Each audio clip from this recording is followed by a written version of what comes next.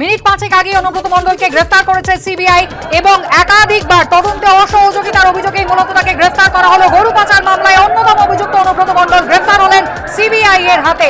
দশ দশ বার তাকে ডেকে পাঠানো হয়। হাজিরা দেননি অনুব্রত মণ্ডল। একবার মাত্র এসেছিলেন এবং দীর্ঘদিন ধরে অসহযোগিতা করেছেন তিনি। শারীরিক অসুস্থতার কারণ দেখিয়ে এবার অনুব্রত মণ্ডলকে গ্রেফতার করল সিবিআই। স্বাস্থ্য পরীক্ষার জন্য তাকে নিয়ে যাওয়া হচ্ছে।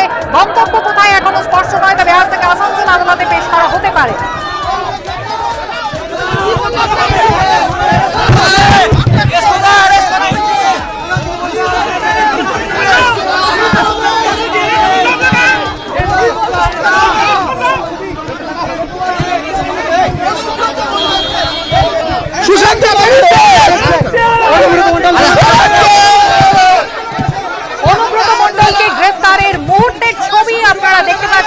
সিবিআই আধিকারিকরা তারা বাড়ির ভেতরে ছিলেন এবং একেবারে অনুব্রত মণ্ডলকে নিয়েই তারা বেরোলেন। সিবিআই এর গাড়িতে তোলা হলো অনুব্রত মণ্ডলকে। আজ তাকে আসানসোল আদালতে পেশ করা হতে পারে। তার আগে হবে শারীরিক পরীক্ষা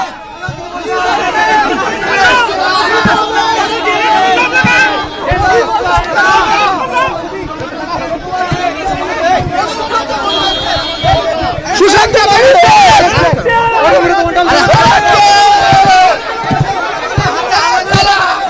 গ্রেপ্তার হওয়ার সময় ছবি আপনারা দেখতে পাচ্ছেন টানা দেড় ঘণ্টা জিজ্ঞাসাবাদ করা হয় অনুব্রত মণ্ডলকে। তার বোলপুরে নিচুপট্টির বাড়িতে আর ভোরবেলায় পৌঁছে যান সিবিআই আধিকারিকরা। ভেতর থেকে দরজা তালা বন্ধ করে দেওয়া হয়। সমস্ত পরিবারের সদস্যের কাছ থেকে ফোন নিয়ে নেওয়া হয়। দেড় ঘণ্টা জিজ্ঞাসাবাদ এবং তার পাশাপাশি চলে তল্লাশি এবং শেষ পর্যন্ত সিবিআই এর হাতে গ্রেপ্তার গরু পাচার মামলায় অন্যতম অভিযুক্ত অনুব্রত মণ্ডল। আজই পেশ করা হতে পারে আসানসোলের তার আগে তাকে নিয়ে যাওয়া হয়েছে। স্বাস্থ্য পরীক্ষার জন্য গ্রেপ্তার হওয়ার মুহূর্তের ছবি আপনারা দেখতে পাচ্ছেন।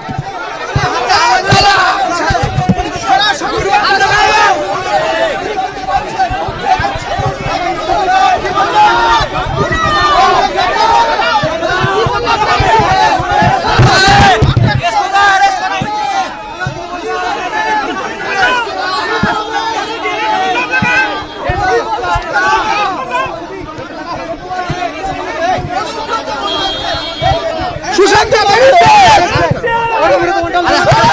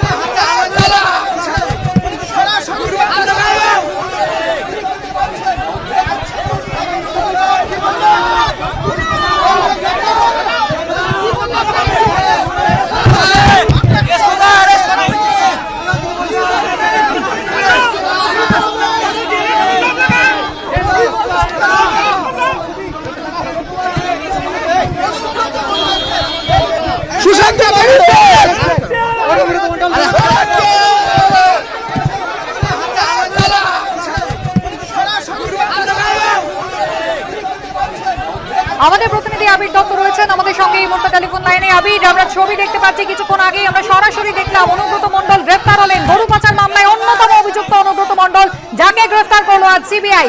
একাধিক তথ্য প্রমাণ রয়েছে গরু পাচার মামলায় তার বিরুদ্ধে কিন্তু তা সত্ত্বেও দীর্ঘদিন ধরে এই যে অসহযোগিতার অভিযোগ কোথাও সেটাই কি আজকে বড় হয়ে দেখা দিল?